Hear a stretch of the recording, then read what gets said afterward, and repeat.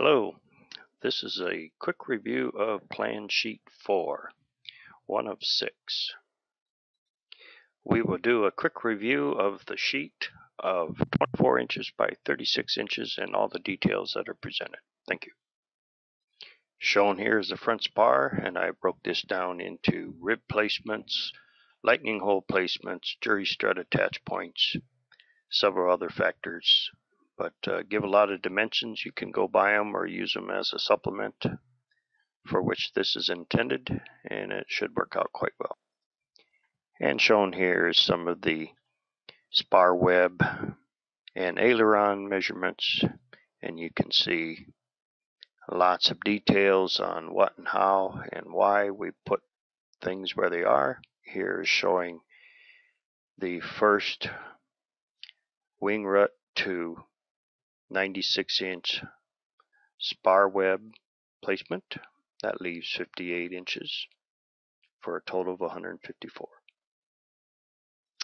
And again, on the other videos, you've probably seen how some of this was called out. Uh, just ignore this part right here. It's used for a reference on doing some drawings. Of course, the first diagonal would end right here. And we've got some angles and some two numbers and of course a roughly 133 degree angle based off of this point to this point.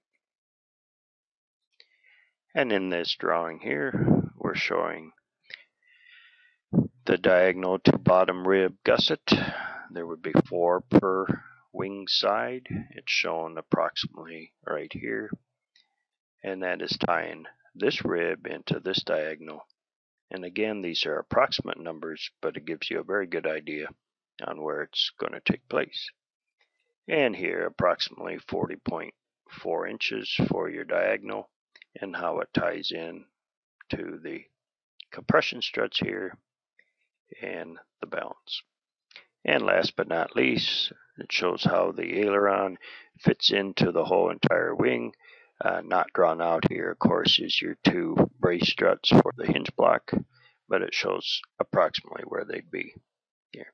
We have all the ribs numbered so you can follow along and correspond those back to other ribs.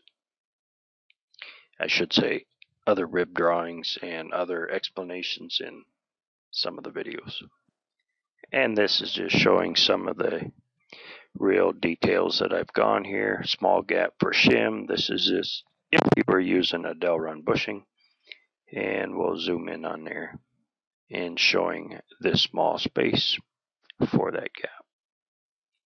And last, this is sheet 4 provided by Iron Design LLC for a supplement to your XL plans. Thank you very much.